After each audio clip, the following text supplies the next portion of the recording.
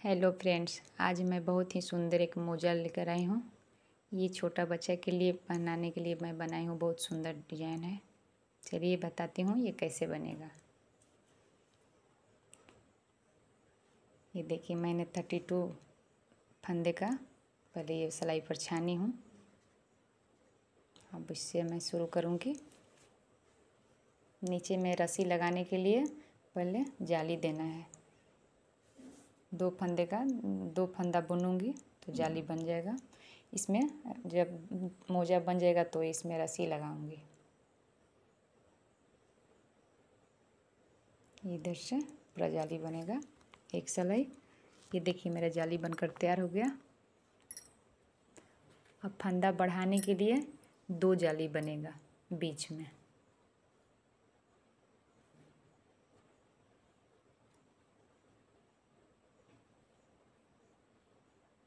सीधा इसको बुनना है। आधा फंदा इधर से बुन लेंगे, तब बीच में जाली बनाएँगे, तब फिर उधर से आधा सादा ही बुनेंगे।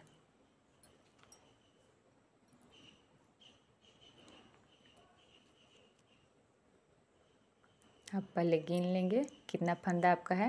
उसके ठीक बीचों बीच फंदा देखकर जाली बनाना है। एक घर का दो घर कर देना है। ये देखिए, मैं एक फंदा में जाली बना रही हूँ। एक फंदे से दो फंदा हो गया। दो जाली बनेगा यहाँ पर।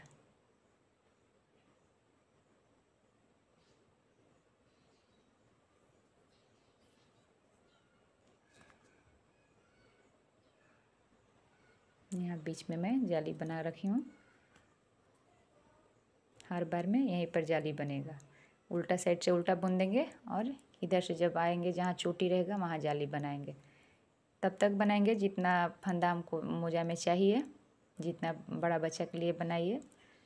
जब बच्चा होता है उस समय छोटा बच्चे के लिए बनाइए या एक साल, डेढ़ साल के बच्चे का बनाइए। बहुत सुंदर डिज़ाइन है।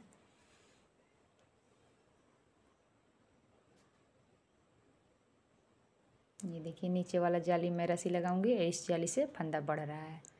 मेरा इतना तैयार है मोजा। ये देखिए, कितना सुंदर जाली बना है। ये जाली गिन लेंगे, कितना बना है।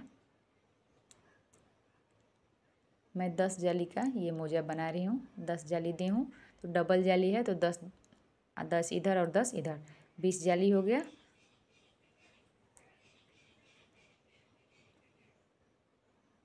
अपने हिसाब से मोजा की साइज़ का आपको बनाना है, उस अनुसार बनाइएगा।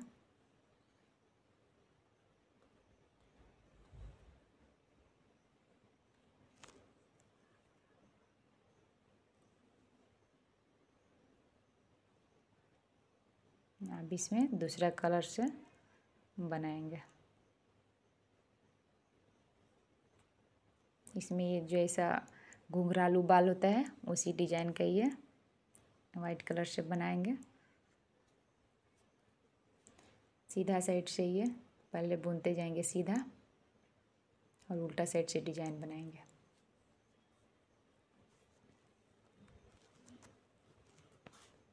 इधर से प्लेन ही बुनेंगे सीधा।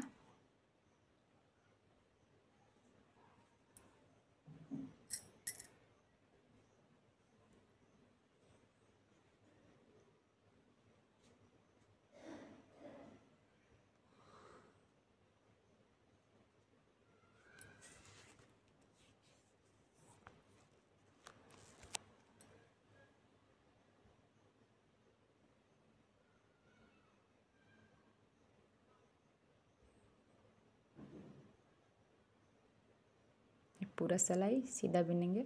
यहाँ पर बीच में जाली है तो एक और जाली भी हमको देना है। तो यहाँ पर फिर वाइट कलर से भी एक जाली बना लेंगे। फंदे को आगे करके एक जाली बना ली, फिर फंदे को आगे करके फिर एक और जाली बना। यहाँ दो जाली बनाना था।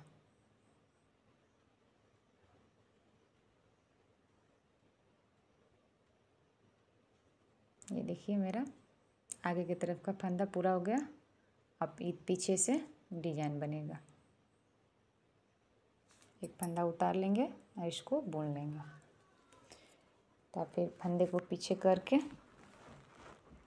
अब उंगली पर लपेटेंगे इसको। ऐसे देखिए। तीन बार। आराम से सिलाई पकड़िएगा, नहीं तो ये उंगली से निकल जाता है।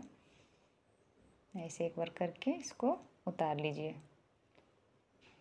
हाथ से पकड़े रहिएगा, नहीं तो ये निकल के उघट जाएगा। फिर बनाते हैं। उंगली पर रखेंगे इसको, ऐसे दबा के। एक, दो, तीन, और एक बार लपेट के पूरा इसको खींच लेंगे इधर। फिर वैसे ही बनाएँगे। जितना फंदा है उतना पर ऐसे ही रिपीट करते जाना है। ऐसे ही रिपीट करते जाइए। ऐसे पकड़ के एक उंगली से जाँच लीजिएगा ये फंदे को, नहीं तो उघड़ जाएगा। बहुत जल्दी खुल जाता है।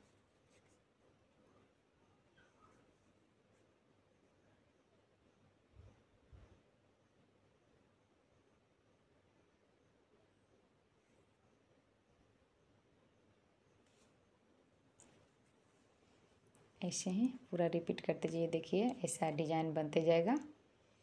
ये मेरा पूरा सिलाई कंप्लीट हो गया। लग रहा है ना, जैसे घुंघरालू बाल है।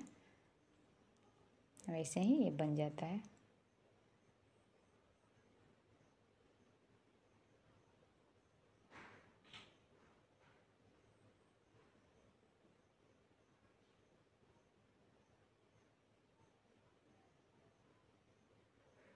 अब इधर से, ये सिंपल ही, बुनेंगे, लेकिन आराम से इस फंदे को बुनेंगे। नहीं तो एक भी फंदा गिर जाने से फंदा खुल जाएगा।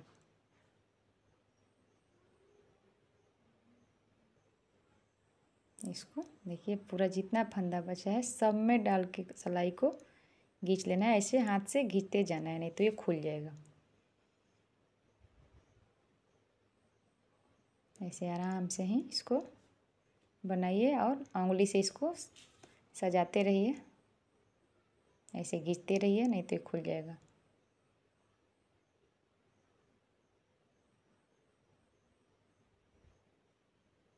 ऐसे करते जाइए। ऐसे ही पूरा कंप्लीट कर लीजिए। ये देखिए, मेरा कंप्लीट हो गया। अब इसको आराम से ऐसे करके थोड़ा खींच लीजिए कि ये बैठ जाए। नहीं, बैठाने से ये खुल जाता है। ऐसे कर देने से ये बैठ जाता है अच्छे से।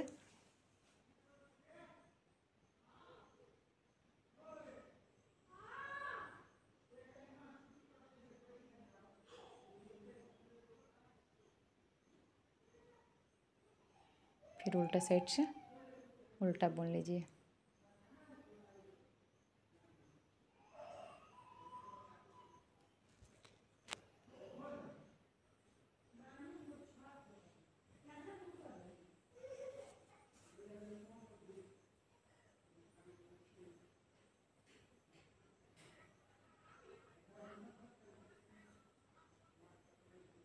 ऐसे ही देखिए मैं उल्टा बुन ली हूँ। छः सलाई छः सलाई बुन लेने से अब इसको बंद करेंगे दोनों साइड से।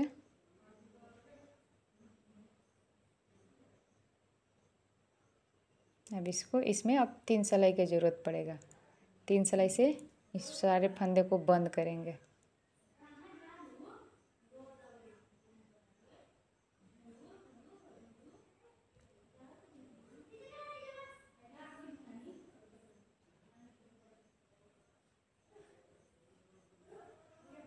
आधा आधा भाग बांट लेंगे इस सिलाई पर, पूरे फंदे को गिन के।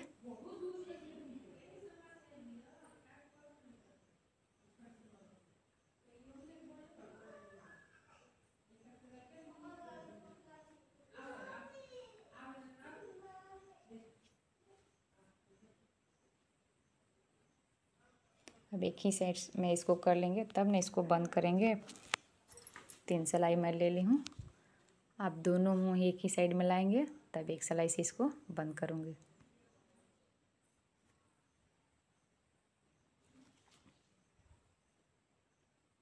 मैं ये मोजा बत्तीस फंदा को शुरू की थी, बत्तीस फंदा डाली थी और दस जाली बनाई हूँ।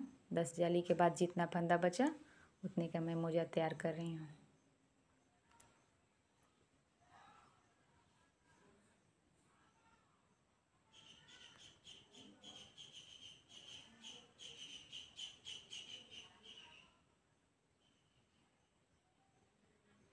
इस मोजे को, फंदे को सब नीचे गिरा कर भी सिलाई पर उठा सकते हैं।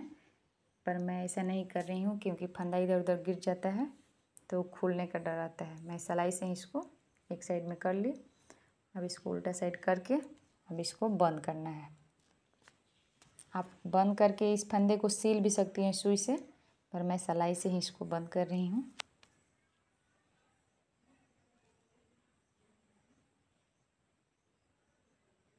ऐसे करके दो फंदे को पकड़ के एक सिलाई पर ले ली। अब इधर से भी फिर दोनों फंदे में सिलाई डालूँगी।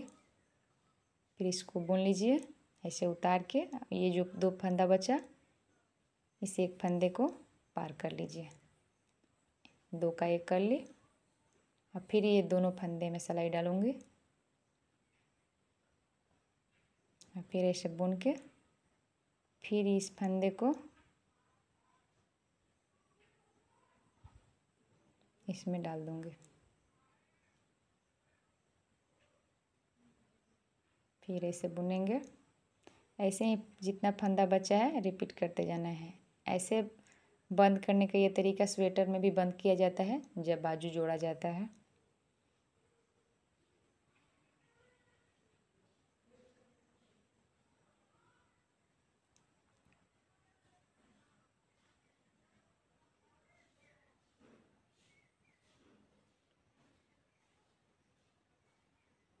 ऐसे बंद कर लेना है। ऐसे ही रिपीट करते जाइए, पूरा मोजा आप मेरे चैनल पर अगर नहीं हैं तो आप मेरे चैनल को सब्सक्राइब कर लीजिए। लाइक कीजिएगा कमेंट कीजिएगा, और ज़्यादा से ज़्यादा शेयर कीजिएगा। देखिए मेरा ये पूरा हो गया। अब इसको सुई से सील लेंगे।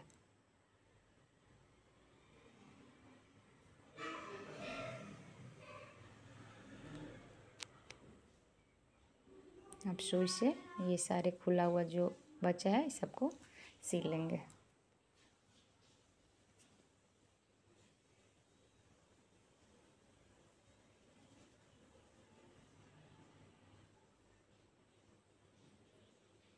ऐसे ही पूरा कंप्लीट कर लेंगे। ये देखिए मेरा कंप्लीट हो गया।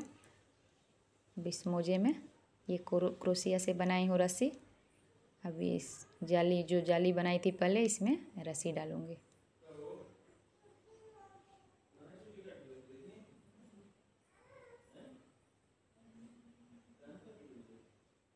ये सारे जाली में एक एक बीच करके डाल के, अब इसमें ये जो मैं फूल बनाई हूँ, इसी में बाँध दूँगी।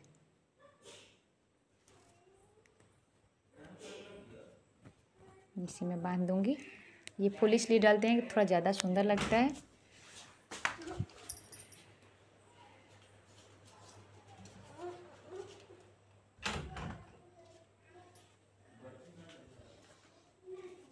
इसी में बाँध देंगे इसको।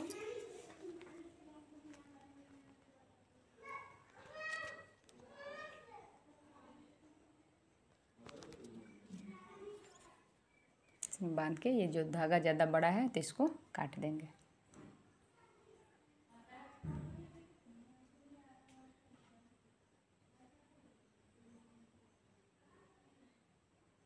ये पुदीना कैसे बनेगा इसका वीडियो मैं डाली हूँ। थैंक